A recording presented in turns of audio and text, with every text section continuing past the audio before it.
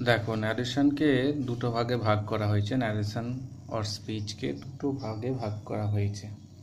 তার মধ্যে একটা হচ্ছে ডাইরেক্ট স্পিচ আর একটা হচ্ছে ইনডাইরেক্ট স্পিচ তো ডাইরেক্ট স্পিচ আর ইনডাইরেক্ট স্পিচ করার আগে ডাইরেক্ট স্পিচকে আগে বুঝতে হবে, কোনটাকে ডাইরেক্ট স্পিচ বলা হয়।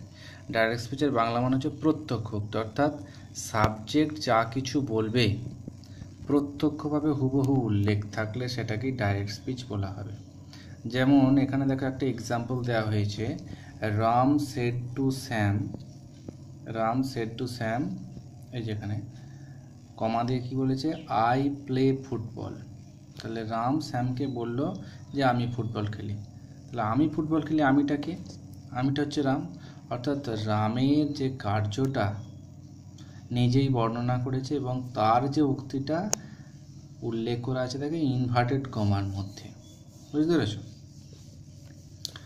এবং এই ডাইরেক্ট স্পিচকে দুটো অংশে ভাগ করা হয়েছে, দেখো। একটা হচ্ছে এই যে রিপোর্টিং ভার্ব পার্ট আর একটা হচ্ছে reported speech part reporting verb পার্টের মধ্যে যা কিছু থাকবে, এই যে সাবজেক্ট ভার্ব অবজেক্ট এর দিকে সব রিপোর্টিং দিয়ে নাম করা হয়। যেমন reporting subject reporting verb reporting object তারপর দেখো একটা কমা আছে।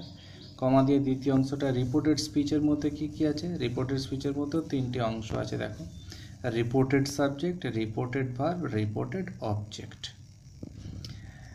এবার এই ন্যারেশন করতে গেলে তোমাকে পাঁচটা সেন্টেন্সকে জানতে হবে। কী কী সেই পাঁচটা সেন্টেন্স অ্যাসাটিভ ইন্টারোগেটিভ অপটেটিভ এক্সক্লামেট আর এক্সক্লামেটিভ অর্থাৎ পাঁচটা সেন্টেন্স তো সেন্টেন্সের ন্যারেশন শিখতে গেলে প্রথম অ্যাসাটিভ দিয়ে শিখতে হয়। যার জন্য এটা হচ্ছে একটা অ্যাসাটিভ কীভাবে অ্যাসাটিভ সেন্টেন্স বুঝব? এই যে রিপোর্টেড স্পিচটা দেখে তোমায় বুঝতে হবে এটা কোন ধরনের সেন্টেন্স আই প্লে ফুটবল এটা অ্যাসার্টিভ অর্থাৎ বর্ণনামূলক বাক্য। যাই হোক, এটা ইনডাইরেক্ট স্পিচ কী হয়েছে দেখো? Ram told Sam that he played football যেগুলো চেঞ্জ হয়েছে দেখো রেড পেনে লেখা রয়েছে রেড ইঙ্ক পেনে লেখা রয়েছে। সেট টুর পরিবর্তে এখানে কি চেঞ্জ হয়েছে? টোল্ড হয়েছে।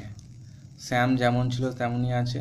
কমা তুলে দিয়ে কি হয়ে গেছে? দ্যাট হয়েছে। আইটাকে আইটা হচ্ছে রাম? তাহলে ওর প্রোনাউন হচ্ছে হি আর প্লে যেহেতু রিপোর্টিং রিপোর্টিং ভাবটা পাস্ট টেন্স আছে। সেট টু ছিল টোল্ড হয়েছে। অর্থাৎ এই পাস্ট টেন্স ওই জন্য রিপোর্টেড ভাবটাও কিন্তু পাস্ট টেন্স হয়েছে। অর্থাৎ প্লে এর পাস্ট টেন্স প্লেড তারপর বাকি যা আছে। এইভাবে তোমাদের অ্যাসার্টিভ সেন্টেন্সে ডিরেক্ট থেকে ইনডাইরেক্ট করার জন্য যে রুলস আছে, সেগুলো তোমরা একটু ফলো করো, তাহলেই বুঝতে পারবে ওকে